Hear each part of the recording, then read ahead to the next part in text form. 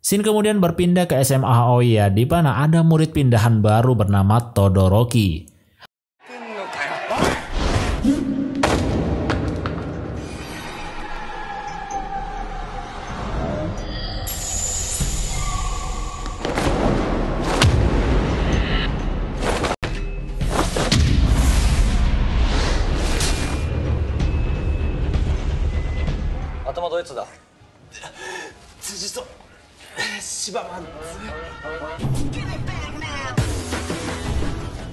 Setelah menghajar dua siswa di kelasnya, ia pun langsung mendatangi Suji dan si Baman, yang merupakan ketua dari kelas tersebut. Sesampainya di sana tanpa basa-basi, Todoroki langsung mengajaknya untuk bertarung.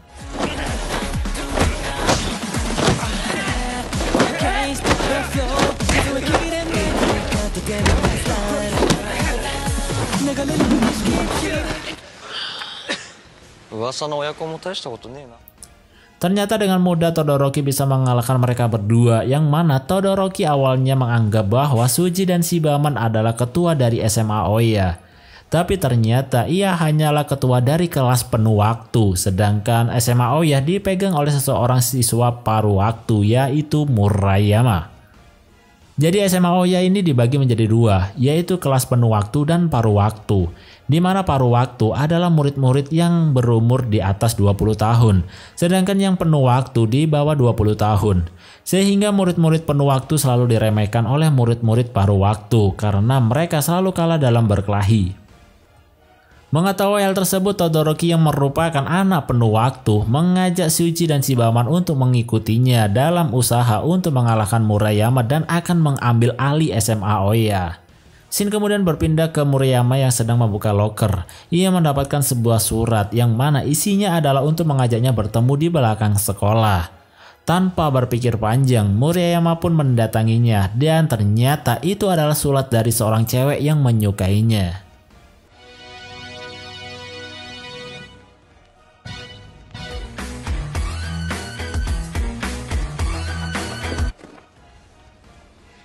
Nanda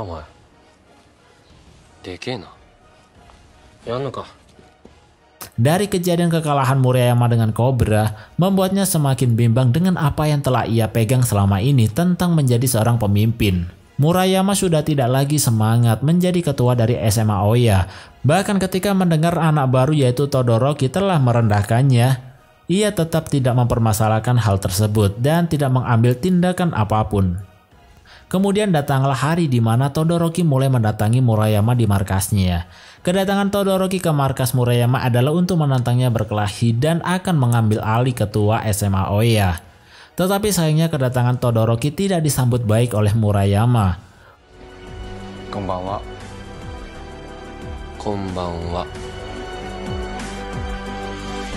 Zennichi no Todoroki desu. Nanka yo, anta o katte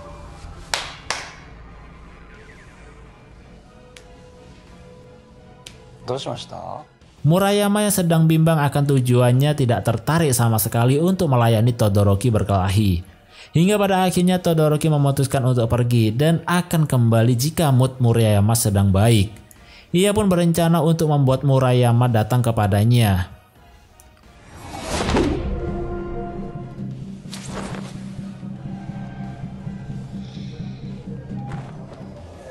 Kaki wa kaere ってんの出直そう伊助だまたな Di sisi lain, kini Sukomo sudah tersadar dari komanya. Cobra dan Yamato pun menceritakan semua kejadian-kejadian yang telah terjadi ketika Sukomo sedang koma.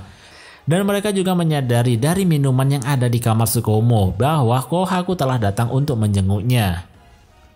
Sedangkan Murayama yang masih galau mencoba untuk mendatangi Cobra dan mencurhatkan isi hatinya tentang apa yang ia rasakan beberapa hari ini. Dari pertemuannya dengan Cobra, pada akhirnya Murayama tersadar bahwa menjadi ketua adalah untuk melindungi teman-temannya. Hal tersebut ia dapatkan dari kata-kata Cobra yang selalu mementingkan teman-temannya.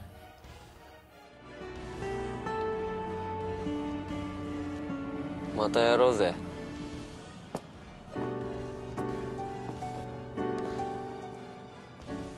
Setelah pertemuan mereka berdua, tiba-tiba Murayama mendapatkan telepon dari Seki.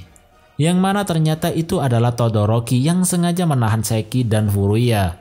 Mereka berdua telah kalah berkelahi dengan Todoroki. Murayama yang sudah tersadar dan sudah menemukan motivasinya, pada akhirnya langsung bergegas untuk kembali ke SMA Oya. Kini Todoroki sudah menguasai seluruh kelas penuh waktu. Dan satu langkah lagi dengan mengalahkan Murayama, ia akan mengambil alih SMA Oya. Namun sekarang Murayama bukanlah Murayama yang dulu lagi. Demi untuk melindungi teman-temannya, ia pun bersedia berkelahi dengan Todoroki. Dan akhirnya perkelahian antara mereka berdua pun terjadi.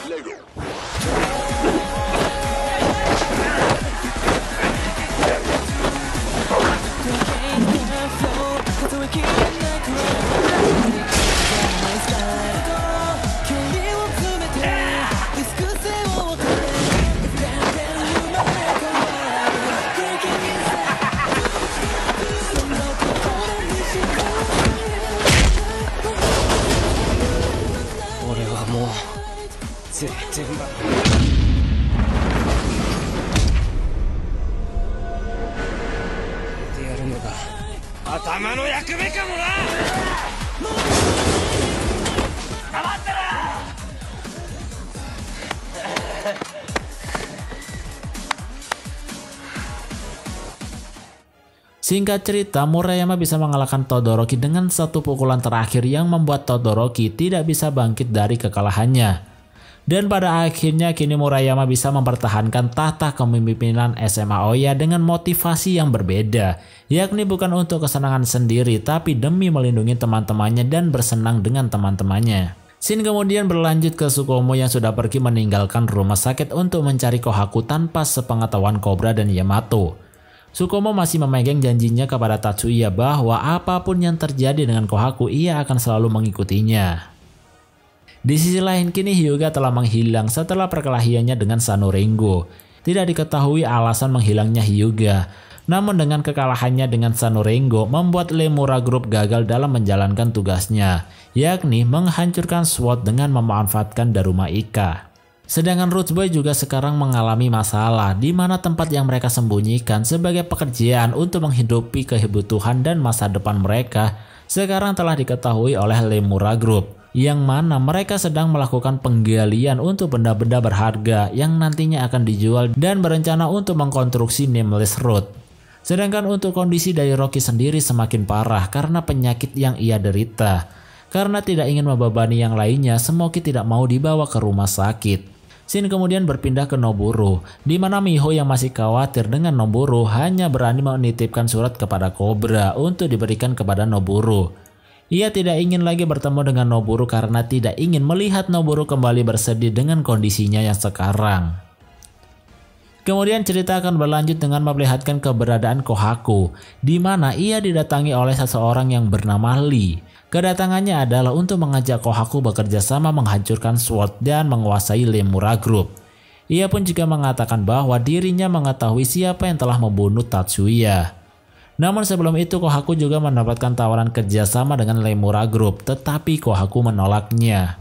Karena ingin mengetahui pembunuh dari Tatsuya, pada akhirnya Kohaku bergabung dengan Lee. Dan ternyata proyek besar dari Mighty Warrior adalah kerjasama dengan Lee untuk menghancurkan SWORD.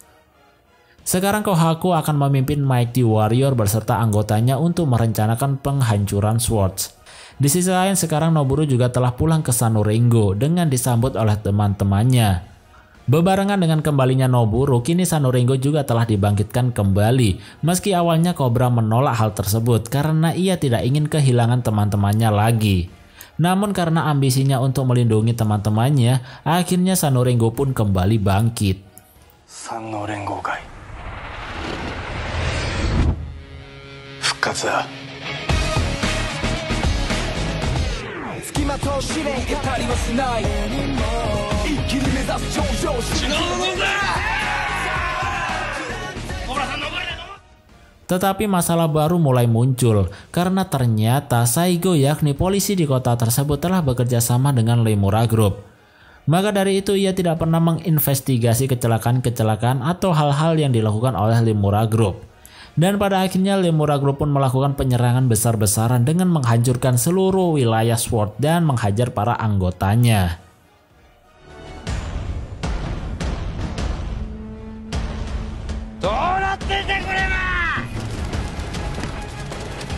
Usah.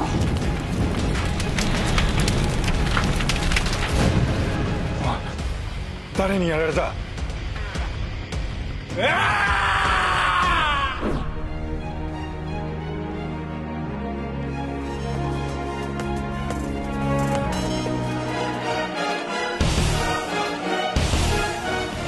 確実に動き出していた Oke guys, mungkin itu saja untuk pembahasan High and Low Season 2. Untuk kelanjutannya tidak lagi serial, tetapi High and Low The Movie, di mana akan menceritakan peperangan besar antara Mighty Warrior dan Swords. Jadi akan segera dilanjut untuk pembahasan High and Low The Movie di video selanjutnya. Oke, terima kasih bagi kalian yang sudah menonton dan see you next time.